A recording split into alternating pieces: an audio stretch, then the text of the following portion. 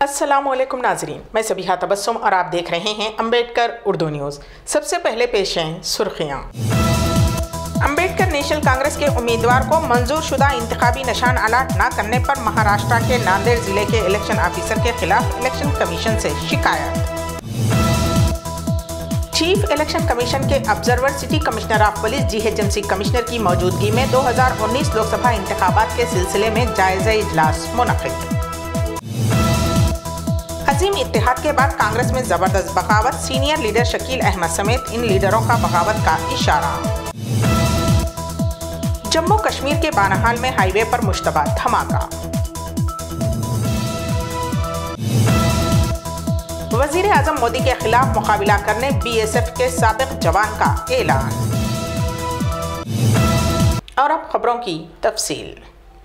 रियासत महाराष्ट्र में Ambedkar national Congress party को नांदेड़ पार्लिमानी हलके से वहाँ के उम्मीदवार अनीस अहमद को रियासती इलेक्शन कमीशन की जानब से इंतबी निशान ग्राम फ़ोन नहीं दिए जाने पर कौमी सदर अंबेडकर नेशनल कांग्रेस अल्लाह नवाब मोहम्मद काजम अली खान साहब ने चीफ इलेक्शन कमीशन से शिकायत की।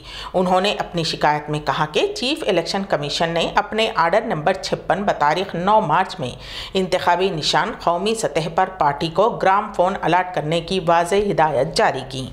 लेकिन नांदेड़ डिस्ट्रिक्ट के इलेक्शन ऑफिसर ने वहाँ के पार्लिमानी हलके के उम्मीदवार रईस अहमद को दूसरा इंतबी निशान अलमारी अलाट करते हुए खुली खिलाफ वर्जी की है। जब अंबेडकर नेशनल कांग्रेस के कौमी सदर अल्लाह नवाब मोहम्मद काजम अली खान साहब ने फ़ोन पर नांदेड़ ज़िले के इलेक्शन ऑफिसर से बात की तो उन्होंने हटदर्मी दिखाई और खुले अल्फाज में कहा कि आप जो चाहें कर लें, आपको ग्राम फ़ोन निशान नहीं दिया जाएगा, जिस पर कौमी सदर अंबेडकर नेशनल कांग्रेस अल्लाह नवाब मोहम्मद काजम अली खान साहब ने फौरी तौर पर तहरीरी शिकायत करते हुए chief election commission of India सदर जमहूरिया हिंद रामनाथ कोविंद और सुप्रीम कोर्ट जस्टिस को मकतूब इरसाल करते हुए फौरी मदाखलत करने की अपील की है और उस ऑफिसर को फौरी बर्खास्त करने का मुतालबा किया। जीएचएमसी में इंतबात के सिलसिले में एक जायज़ा इजलास मनद किया गया। इस इजलास में इंतबात के ऑब्जर्वर के K Sharma, city commissioner of police Anjani Kumar GHMC commissioner Dana Kishore के अलावा दिगर अहदेदारान ने शिरकत की। इस इजलास में इंतबात के सिलसिले में गौर वौस किया गया और अजला कलेक्टर्स और एस पीज़ के साथ वीडियो कॉन्फ्रेंस भी मनद की गई। रियासत में इंतबात मुकम्मल तौर पर पुरअमन मनद होने के लिए मुनासिब इकदाम किए जा रहे हैं। Chief electoral officer Rajat Kumar ने कहा कि निज़ामाबाद हल्के लोकसभा में बैलेट पेपर के ज़रिए या फिर ई वी एम के ज़रिए जैसा भी इंतबात मनद होंगे, उसके लिए हम तैयार हैं। मरकज़ की जानब से अहकाम के मुंतज़र हैं। इसके अलावा उन्होंने कहा कि प्रगति भवन में किसी भी तरह की सरकारी सरगर्मियाँ नहीं चल रही हैं। इसकी वजाहत तेलंगाना राष्ट्र समिति ने की है। Special observer chief election commission के के शर्मा ने 30 मार्च को कमिश्नर ऑफ़िस में 2019 लोकसभा इंतबात के सिलसिले में खसूसी इजलास से खिताब किया। इस मौके पर city commissioner of police Anjani Kumar ने इंतबात के सिलसिले में इंतज़ाम की तफसील से उन्हें वाकिफ़ करवाया और कहा कि इंतबात के लिए मुकम्मल इंतज़ाम किए जा चुके हैं। पुलिस का वसीतर बंदोबस्त किया गया है। हसास और मज़ीद हसास इलाक़ों में पुलिस को मुतन किया गया है। इस मौके पर Shikha Goyal IPS additional CP additional CP Anil Kumar, additional CP traffic DC Chauhan, additional CP law and order, T Murali Krishna additional CP doctor Tarun Joshi DCPs और एडिशनल डीसीपीस व दीगर मौजूद थे। बिहार स्कूल एग्जामिनेशन बोर्ड ने intermediate इम्तहान सन 2019 के नतज जारी कर दिए हैं। इसमें उन्यासी अशारिया सात छः फ़ीसद तलबा व तालिबात पास हुए हैं। आर्ट्स, साइंस और कॉमर्स तीनों स्ट्रीम के नतज एक साथ जारी हुए। इम्तहान में शामिल हुए तकरीबन तेरह लाख पंद्रह हज़ार तलबा के नतज बोर्ड की वेबसाइट पर जारी कर दिए गए हैं। आर्ट्स में कुल उन्यासी अशारिया पाँच तीन फ़ीसद कॉमर्स में तिरानवे अशारिया सिफर दो फ़ीसद साइंस में कुल इक्यासी अशारिया दो सिफर फ़ीसद तलबा पास हुए हैं। कुल दस लाख उन्नीस हज़ार सात सौ पचानवे तलबा पास हुए हैं। बिहार बोर्ड के सदर नशीन आनंद किशोर और महकमे तालीम के एडिशनल सेक्रेटरी आर के महाजन ने नतज को बोर्ड की वेबसाइट पर जारी कर दिया है। वज़ीर अजम नरेंद्र मोदी के खिलाफ बीएसएफ के सबक जवान ताज बहादुर ने वाराणसी पार्लिमानी हलके से मुकाबला करने का ऐलान किया है। ताज बहादुर ने कहा कि कई सियासी जमातें उन्हें टिकट देने की पेशकश कर रही हैं, लेकिन उन्होंने मोदी के खिलाफ आज़ाद उम्मीदवार की हैसियत से मुकाबला करने का फैसला किया है। जम्मू और कश्मीर के नेशनल हाईवे पर हफ़्ते को एक कार में धमाका होने की वजह से अफरा तफरी का माहौल छा गया। जिस वक्त कार में धमाका हुआ, उस वक्त पास से सीआरपीएफ का काफिला गुजर रहा था। बताया जा रहा है कि कार में सिलेंडर फटने की वजह से धमाका हुआ था। हादसे के बाद ड्राइवर मौके से फरार हो गया। धमाके के बाद कार पूरी तरह से तबाह हो गई। धमाके की वजह से फौज की गाड़ी को भी नुकसान पहुँचा है। सीआरपीएफ की एक गाड़ी के पिछले हिस्से में आग लग गई, लेकिन किसी के हलाक होने की की कोई खबर नहीं है। इस सिलसिले में मज़ीद तहकीक़ात जारी हैं।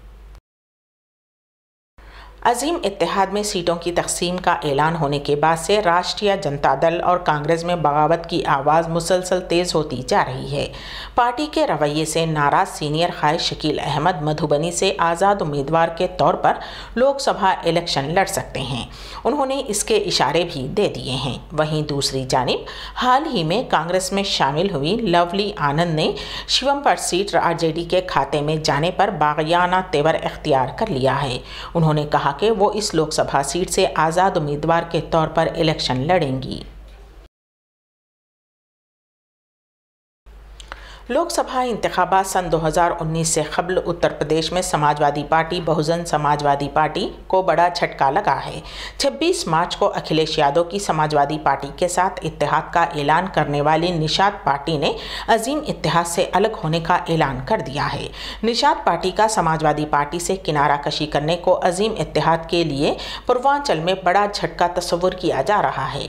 निषाद पार्टी के सदर संजय निषाद ने कहा कि हम अजीम इतिहाद से अलग हो रहे हैं। उन्होंने कहा कि हमें और हमारी पार्टी के कारकुनान को समाजवादी पार्टी में एहतराम नहीं मिल रहा है और कारकुनान इस रवैये से मायूस थे। अब पार्टी अलग से इलेक्शन लड़ने के साथ दूसरे मुतबादिल पर भी गौर कर रही है। नेशनल कॉन्फ्रेंस के कायद फ़ारूक अब्दुल्ला ने एक मरतबा फिर मुतनाज़ा बयान दिया है। फ़ारूक अब्दुल्ला ने 14 फरवरी को पुलवामा में सीआरपीएफ के काफिले पर हुए हमले में 40 जवानों की शहादत पर भी शक का इजहार किया है। फ़ारूक अब्दुल्ला ने कहा कि, कितने सिपाही शहीद हुए हिंदुस्तान के छत्तीसगढ़ में? क्या कभी मोदी जी वहाँ गए, उन्हें फूल चढ़ाने के लिए? कभी उनके ख़ानदानों से हमदर्दी ज़ाहिर की, या जितने सिपाही यहाँ हलाक हुए, उनके लिए कुछ कहा? लेकिन जो 40 सीआरपीएफ जवान शहीद हुए हैं उसका भी मुझे शक है। खर्च के बोझ तले दबे जेट एयरवेज के 1000 पायलट्स ने पीर से तैयारा ना उड़ाने का फैसला किया है। Pilots association national aviation guild ने कंपनी की जानब से तनख्वाहों से मुतल कोई इतला ना देने पर यह फैसला लिया है। एन ए जी के सदर किरण चोपड़ा ने कहा कि 29 मार्च तक एस बी आई से आर्जी फंड्स का इम्कान था, लेकिन फंड्स वसूल नहीं हुए, जिसके बाद पायलट्स ने एकम अप्रैल से तैयारा ना उड़ाने का फैसला किया है। अंबेडकर उर्दू न्यूज़ के अख्ताम से कबल दोबारा सुर्खियों पर एक नज़र।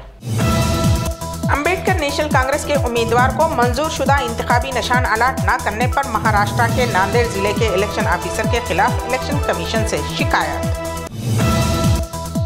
चीफ इलेक्शन कमीशन के observer city commissioner of police GHMC commissioner की मौजूदगी में 2019 लोकसभा इंतबात के सिलसिले में जायजा इजलास मुनद अजीम इतिहाद के बाद कांग्रेस में ज़बरदस्त बगावत सीनियर लीडर शकील अहमद समेत इन लीडरों का बगावत का इशारा।